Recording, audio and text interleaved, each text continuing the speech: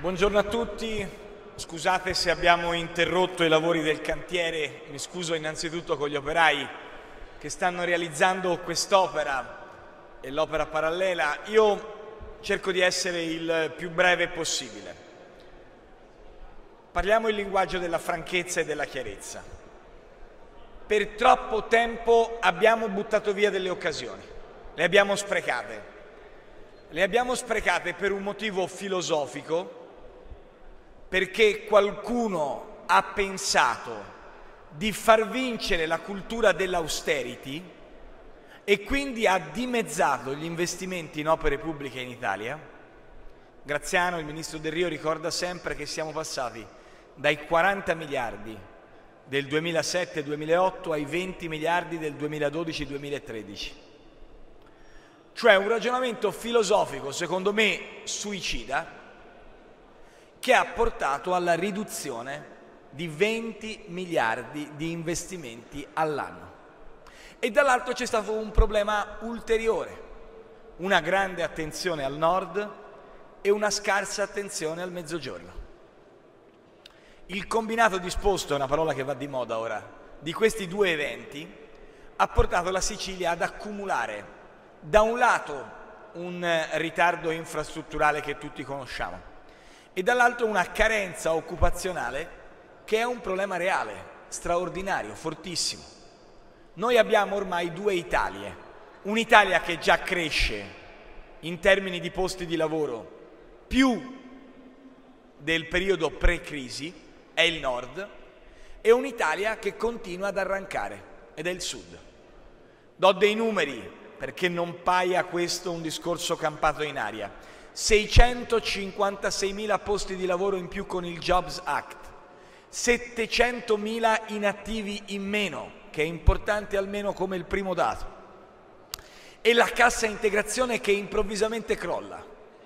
Questi tre numeri sono molto rilevanti, ma a fronte di questi tre numeri dobbiamo registrare purtroppo un'assoluta differenza tra ciò che accade al nord e ciò che accade al sud. E allora di che cosa stiamo discutendo oggi qua? In questo cantiere che è il cantiere, lo ha detto Armani e lo ringrazio, più importante di Anas, almeno in questo momento. Stiamo cercando di riflettere su un modello diverso di sviluppo. Sarebbe bello che ciascuno di noi arrivato al governo potesse portare avanti i propri sogni.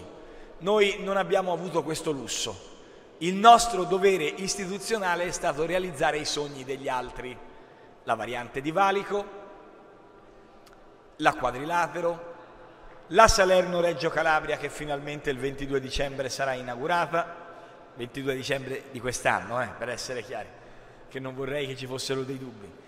Abbiamo cioè dovuto sistemare le opere pubbliche che erano rimaste a metà, ma nel farlo vorremmo dare un indirizzo strategico all'investimento sulle infrastrutture. In particolar modo questo è valido per la Sicilia.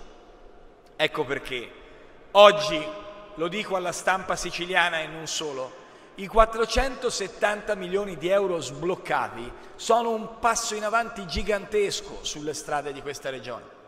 Non sono l'unico passaggio. Il ministro Del Rio è qui, stasera sarà a Marsala perché non dimentichiamo la necessità di investire sulla provincia di Trapani e in particolar modo sull'aeroporto di Trapani. Tra qualche ora saremo a Palermo con eh, Fincantieri, ma non soltanto con Fincantieri. C'è una necessità di investire sui porti e su tutta l'economia del mare che è stata ingiustamente tagliuzzata negli anni passati dalla mancanza di strategia e dalla visione. Siamo stati ieri a Catania dove l'aeroporto viaggia con ritmi impressionanti anche grazie al buon lavoro. Abbiamo a Ragusa ieri sottolineato come la Catania-Ragusa, che come sapete è un project ma sulla quale siamo disponibili a trovare tutte le forme per dare un sostegno e una mano, sia finalmente una realtà e non più una promessa. Insomma, è come se la bella addormentata si fosse svegliata. Non c'è stato bisogno del bacio del principe del Rio, non c'è stato bisogno di un investimento particolare, c'è stato bisogno di serietà e di rigore. E allora oggi noi firmiamo la, PQ, l'accordo di programma quadro che è particolarmente rilevante perché sblocca dei denari che erano fermi. Dico alle lavoratrici e, alle lavoratori, e ai lavoratori che siamo orgogliosi della loro professionalità e che non lasceremo che l'Italia commetta gli errori del passato, come è accaduto quando si è deciso di tagliare sulle opere pubbliche, perché chi taglia sulle opere pubbliche sta tagliando il suo, il suo, il suo futuro, sta tagliando la sua prospettiva di crescita. Ma dico anche che se ieri, per la prima volta, dopo anni, l'Italia nel terzo trimestre ha fatto registrare un PIL superiore alla Francia e alla Germania, intendiamoci, soltanto nel terzo trimestre, ma se per la prima volta dopo anni c'è un segnale più dell'Italia maggiore della Francia e della Germania, questo è l'indice che una parte del Paese si è già rimesso in moto. Se riusciremo a far ripartire finalmente il Mezzogiorno e il Sud, saremo nelle condizioni di diventare la locomotiva d'Europa. Per far questo abbiamo bisogno di due cose. Grande cooperazione istituzionale con il territorio siciliano. Io penso che cosa significhi arrivare da Caltanissetta ad Agrigento, ne parlavo prima con i sindaci, in un arco di tempo molto ristretto, vuol dire togliere dall'isolamento alcune realtà e vuol dire per le aziende, lo dico alla CMC e non soltanto alla CMC, la volontà di lavorare insieme. C'è stata una cultura in Italia per qualche anno, e talvolta c'è ancora, per cui se ci sono dei problemi sugli appalti si arrestano i lavori. Io sono dell'idea che se ci sono dei problemi sugli appalti si arrestano i ladri, ma i lavori bisogna mandarli avanti, perché se siamo l'unico paese che anziché arrestare i ladri arresta i lavori, noi avremo un gap infrastrutturale che è quello, lo dico pensando a chi tra voi lavora ancora sulle metropolitane, per esempio a Catania, per il quale abbiamo come chilometri di metropolitane in Italia un numero inferiore alle metropolitane di Madrid che con tutto il rispetto e l'affetto e l'amicizia per i nostri amici di Madrid, sta cosa non può mica funzionare, non ci può mica andare bene. E allora ben venga il lavoro su questo cantiere, i soldi ci sono, gli alibi stanno a zero, abbiamo rimosso tutti gli ostacoli. Non so se si chiama Barbara o no la struttura che ha rimosso gli ostacoli, che ha aperto una galleria diversa tra le procedure romane e l'arrivo dei quattrini sul territorio. Chiamatela Barbara, chiamatela Graziano, chiamatela come vi pare. Quella straordinaria struttura è la struttura che permette oggi di venire qui in Sicilia e di dire la nostra parte la stiamo facendo. Non c'è soltanto questo, c'è tutto il tema delle ferrovie, c'è tutto il tema della l'accelerazione delle linee ferroviarie, anche perché si parla di accelerazione, una decelerazione in Sicilia sarebbe impossibile visto il livello della struttura ferroviaria. E io penso che se riusciremo finalmente a dare ai cittadini tempi certi e responsabilità di chi decide, avremo fatto un servizio e un'opera di impegno nei confronti delle persone. Camminando e venendo in qua un operaio mi ha detto come facciamo a credere che questa sia davvero la volta buona? Ed è una grande domanda, perché centinaia di persone, migliaia di persone sono state prese in giro nel corso degli ultimi anni.